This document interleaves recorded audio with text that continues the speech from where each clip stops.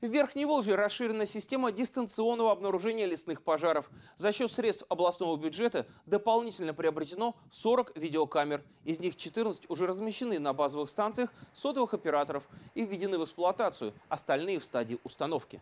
Таким образом, с учетом ранее размещенных камер, мониторинг обстановки будут вести 100 единиц видеонаблюдения. Это станет еще одним элементом комплексной защиты лесов от пожаров. Эта система формируется на протяжении последних нескольких лет.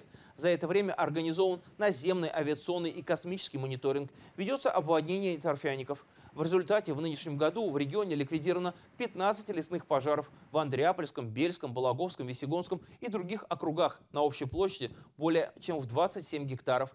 Все возгорания были потушены в день обнаружения. По сравнению с прошлым годом количество лесных пожаров уменьшилось более чем в три раза.